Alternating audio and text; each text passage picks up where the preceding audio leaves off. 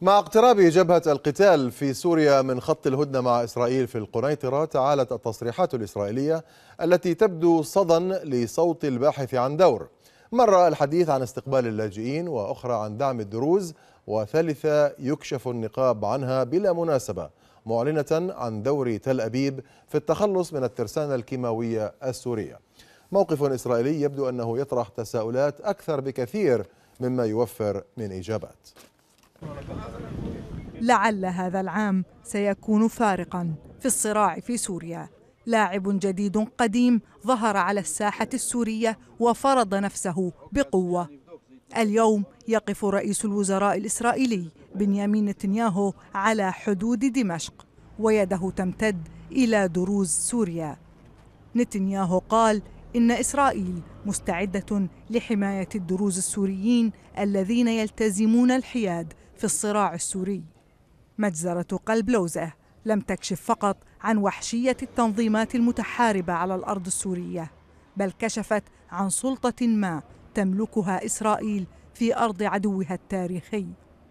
نتنياهو أعلن أن إسرائيل أرسلت رسائل للجماعات المسلحة في سوريا لحثها على تجنيب الدروز الصراع الذي يدمي البلاد. وترك رئيس الوزراء الإسرائيلي الباب على مصراعيه للتكهنات. لم يكتف نتنياهو بهذا بل قال إن إسرائيل مستعدة لاستقبال لاجئين سوريين. ما أعاد للذاكرة صور المعارضين المقاتلين وهم يعالجون في مستشفيات إسرائيل. والعلاج هنا لمن قتل الدروز في سوريا. على الأقل هذا ما عبر عنه دروز فلسطين الذين تظاهروا منددين باستقبال مستشفيات إسرائيلية لمقاتلين من جبهة النصرة. يستقبلون هؤلاء المجرمين القتلة يداووهم يضعون الحراسه المشددة عليهم يضعونهم في كل المستشفيات يعطونهم أفضل أنواع العلاج والعمليات الجراحية وإلى آخره. ثم عند انتهاء العلاج يرجعون إلى بلادهم إلى سوريا مدججين بالسلاح ولعل الملف الأخطر هو ما كشف عنه مسؤولون إسرائيليون عن دور تل أبيب في التخلص من السلاح الكيماوي السوري. الاتفاق الأمريكي الروسي حول تسليم السلاح الكيماوي السوري كان مخططا اسرائيليا بامتياز. هذا ما أقر به السفير الإسرائيلي السابق في واشنطن مايكل أورن. المسؤولون الإسرائيليون كشفوا أن الاتصالات الدبلوماسية بدأت بعد إعلان إسرائيل أن لديها أدلة على استخدام النظام السوري السلاح الكيماوي ضد شعبه. إسرائيل قالت إنها رفضت إطلاع موسكو على الأدلة التي تملكها وفي المقابل طرحت كبديل عن عرض هذه المعلومات فكرة الاتفاق الأمريكي الروسي على تجريد دمشق. من سلاحها. وبدأ الأمريكيون والروس بدفع الاتفاق فيما جلست إسرائيل جانبا كما جاء على لسان مسؤول إسرائيلي رفيع مقرب من نتنياهو. ويبدو أن الأيام المقبلة ستكشف المزيد من جبل الجليد الذي ذابت قمته مع اتخاذ الصراع في سوريا طابعا دراماتيكيا أدخل إسرائيل علانية على خطه. لمزيد من التفاصيل حول هذا الدور الإسرائيلي الذي بدأ يظهر جليا في الآونة الأخيرة نتوجه إلى يوسف مرة أخرى. يوسف يعني واضح أن الدور الإسرائيلي بدأ يبرز فيما يتعلق بالأزمة السورية في, في الآونة الأخيرة. الآن إسرائيل تنصب نفسها حامي الطائفة الدرزية. هناك حديث واتهامات كما سمعنا من أحد الشخصيات الدرزية نعم. بأن إسرائيل توفر الأمان لجبهة النصرة وتعالج الجرحى داخل المستشفيات الإسرائيلية. ومهند يعني بالطبع كل ما يحدث في سوريا يهم إسرائيل ولا يمكن أن يكون تكون إسرائيل واقفة متفرجة. لكن الدور كان ربما خفي في السابق. الآن يعني نسمع مسؤولين إسرائيليين يتحدثون علنا بحجة أو بغير حجة. لكن نريد أولا أن نشرح فقط على الخريطة ما الذي يحدث في جنوب سوريا. تقريبا هنا غرب سويدا ودرعا نتحدث عن القنيطرة تحديدا وعن هضبة الجولان المحتلة إسرائيليا. وما الذي أثار كل هذه التصريحات في الآونة الأخيرة بعد مجزرة قلب لوزة في إدلب؟ الآن المعارضة السورية المسلحة هنا ونرى المناطق التي تسيطر عليها باللون الأخضر وهي مناطق محاذية للحدود مع هضبة الجولان المحتلة يعني مباشرة مع الجنود الإسرائيليين شنت عمليات عسكرية كبيرة وقوية آه، على الريف الشمالي للقنيطرة من أجل السيطرة عليها وقالت في تصريحات قبل يومين أنها تقاتل تحت راية الجيش الحر وليس النصرة، لكن المرصد السوري لحقوق الإنسان أفاد بمقتل قيادي من جبهة النصرة في هذه الاشتباكات قبل يومين. آه، إذا آه، فقط الجيش السوري بالطبع يحاول أن يمطر هذه المنطقة ب الطيران من هنا بالقنابل خلال هذه الاشتباكات التي تتم في هذه المناطق.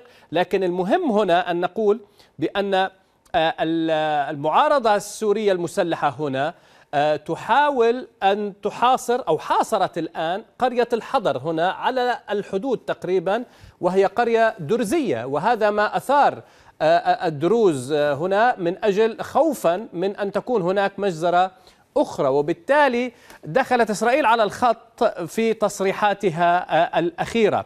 المعارضة السورية تحاول التقدم هنا تقول بأنها في شمال القنيطرة تحاول أن تفتح الطريق إلى غرب دمشق إلى ريف دمشق الغربي وتفتح هذا الطريق.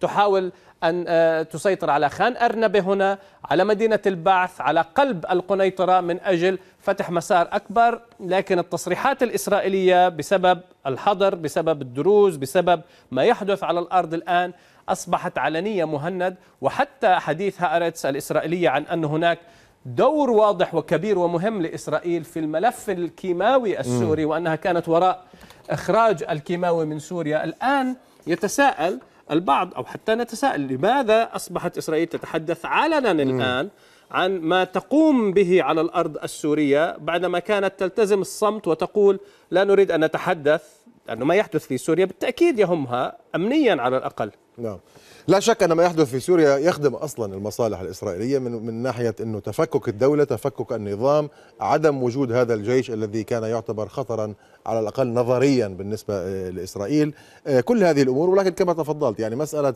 لماذا الآن؟ لماذا ظهر هذا الدور بشكل علني الآن؟ وبدأنا نسمع عن إنه اولا إسرائيل تريد حماية الدروز من جهة وتقدم المساعدة لجبهة النصرة التي تهاجم القرى الدرزية وكنا نسمع في بداية الثورة أن إسرائيل تريد الحفاظ على النظام السوري لأنه طبعا. يعني يؤمن لها الحدود. يعني بالتالي هناك أكثر من موقف متضارب هنا. طيب معنا لتسليط الضوء على هذا الموضوع من القدس الباحث السياسي في الشؤون الإسرائيلية فضل طهبوب. مساء الخير أستاذ فضل مرحبا بك معنا. نتحدث عن آه، بروز الدور الإسرائيلي بشكل علني على الأقل في الآونة الأخيرة فيما يتعلق بمجريات الأحداث في سوريا. ما الذي تسعى إسرائيل من خلال آه، إبراز هذا الدور دورها بشكل علني؟ ما الذي تريد تحقيقه آه، بالتحديد؟ يعني واضح تماما أن إسرائيل منذ البداية كان لها إصبع في كل ما يجري في سوريا وكانت تقدم المساعدات للنصرة وسواها وتعمل دائما على دعمهم باستمرار وليس جديد هذا الموقف. ما جاء جديدا حاليا أن إسرائيل كانت أصلا في البداية تحتاج إلى حزام أمني آه، يفصل ما بين كما حدث في جنوب لبنان ما بين الجيش السوري وما بين إسرائيل أن يكون هناك حزام أمني من هذه المجموعات المسلحة الموجودة في المنطقة هناك.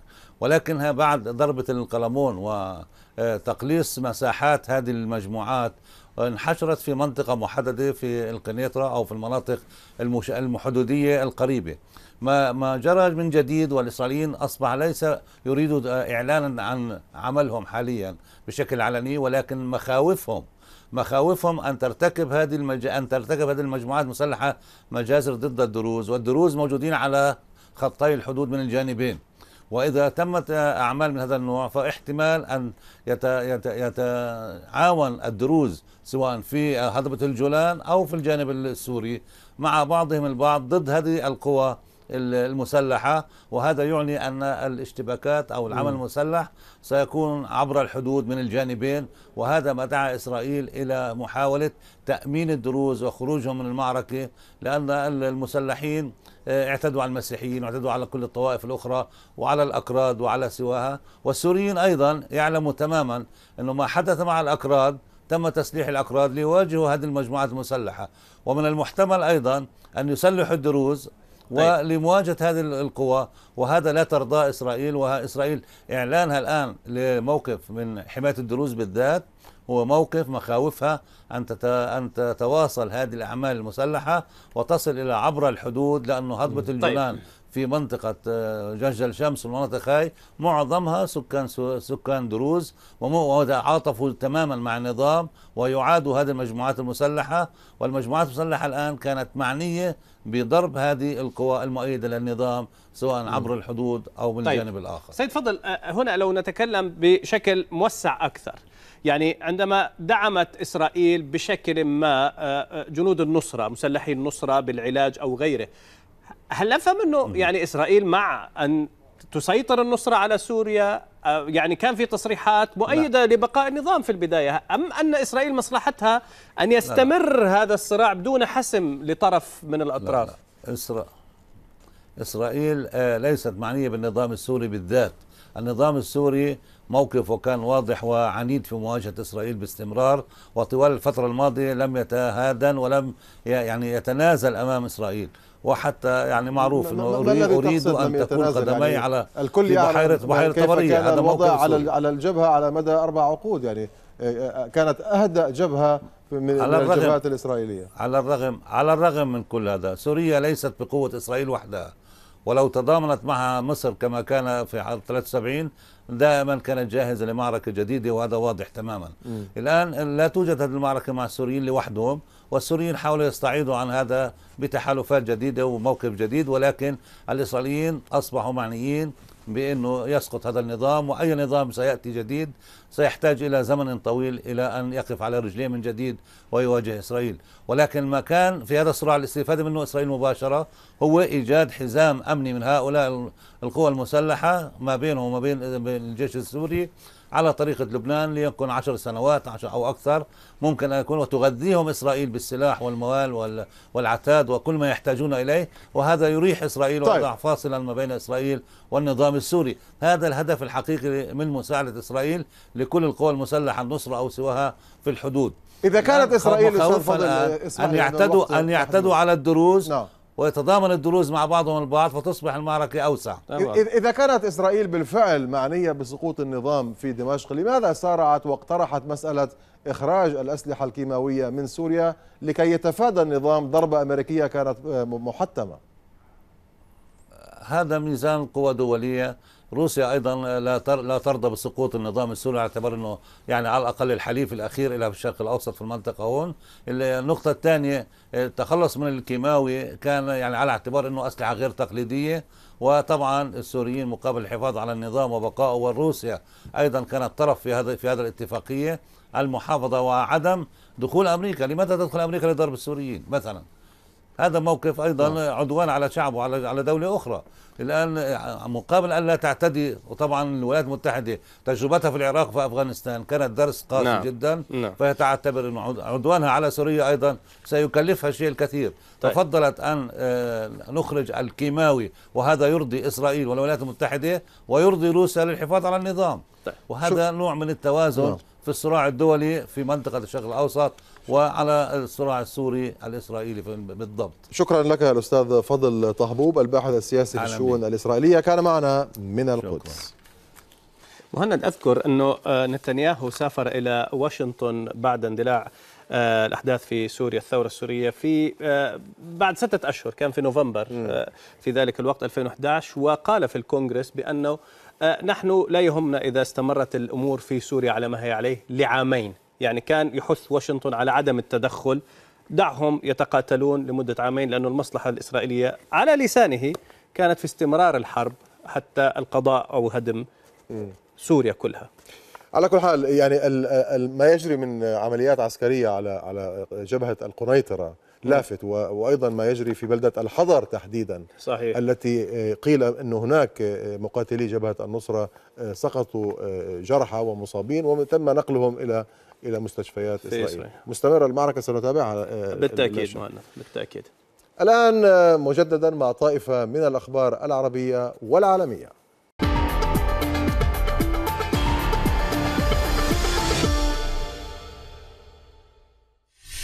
لا نزال في أجواء رمضان اليوم وهاشتاج الذي تصدر تويتر في العالم العربي اليوم ساعد أختك وأمك في المطبخ.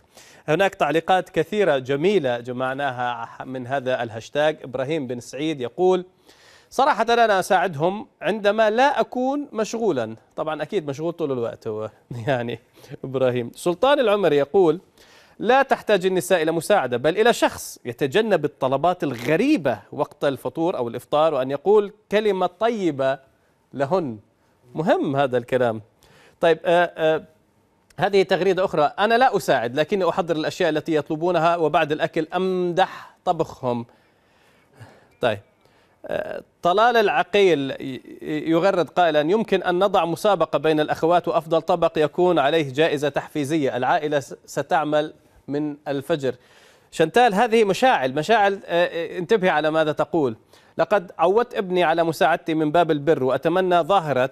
أنت رجل عيب تساعد النساء أن تنمحي من قاموسنا. برأيك يعني ستنمحي هذه من قاموسنا؟ أنت رجل عيب تساعد المرأة في المطبخ؟ أنا أنا بقاموسي التغيت من زمان. بالعكس لازم كل رجل أكيد يكون له زوجك جانب بيساعدك آه، بالمطبخ؟ هو بيعمل كل شيء. والله برافو برافو تساعده في المطبخ لا اليوم بالعصر الجديد الكل يعمل يعني والكل يجب أن يتساعد في المطبخ أيضا. طيب مهند شوف هذه التغريدة من منا منا تقول أعظم مساعدة يمكن أن يقوم بها الرجل هي شراء الأشياء وأن لا يدخل المطبخ وأن يأكل وهو ساكت ويسكت. بدون تعليق أحيانا دخول الرجل المطبخ يكون مصيبة على طبعاً. المرأة يعني كال في مثل بقول كثروا طباخين مش هيك؟ واحترقت الطبخة أو كالفيل الذي يدخل محل آه، يعني زخارف. على فكرة مهند أنت مكشوف في المطبخ من العام الماضي. صحيح يعني مطبخ رمضان. من مطبخ رمضان. أنت تدخل كل يعني بتعمل كل شيء لحالك. شاطر على يعني. على ذكر هاشتاجات رمضان يوسف. أنا أطلقت أو حاولت إني أطلق هاشتاج بالأمس لها علاقة آه. برمضان. نعم. الهاشتاج هو راحت لبعد العيد. عبارة بنسمعها على الأقل في منطقة الشرق العربي. آه، يعني تدل على إنه ما فيش إنتاج خلال شهر رمضان. كسل وخمول ولا إنتاجية. أي شيء يؤجل إلى ما بعد العيد. حاولت أطلق هذا الهاشتاج ولكن لا لم ينجح. هروبا من الحقيقة. والله هربا من الحقيقة والله فعلاً. شكله هاشتاجك كمان راح لبعد العيد شكله. على كل لدينا بعض الصور التي اخترناها لكم من أجواء رمضان المختلفة وفانوس رمضان. هذه الصور كما نتابعها. آه، هنا آه، لفوانيس رمضان. آه، أيضا لفوانيس رمضان مع الأطفال. وهنا على الحدود أيضا على الحدود التركية السورية اللاجئين هنا في انتظار الإفطار وبعض الصور للأطفال الذين يقرؤون القرآن في أندونيسيا ومسلمين يصلون في نيجيريا. أخيرا الآن حقق فيلم كوميدي قصير نشر عبر وسائل التواصل الاجتماعي أكثر من 700 ألف مشاهدة في أقل من أسبوع الفيلم نشاهده الآن يظهر أو يظهر كيف أن ديناصورا أليفا أغاظ صاحبه بعد أن عصى أوامره بعدم لمس وعاء من الحبوب معد الأكل في المطبخ. لكن الديناصور الصغير قام بطريقة كوميدية بدفع الصحن حتى وقع. طيب نشوف. Don't ال- you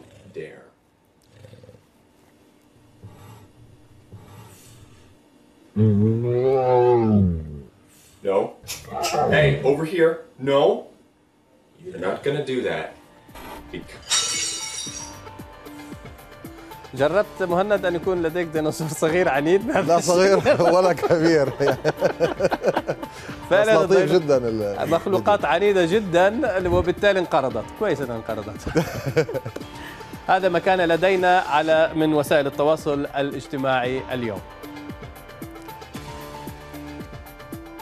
نلتقي على رأس الساعة.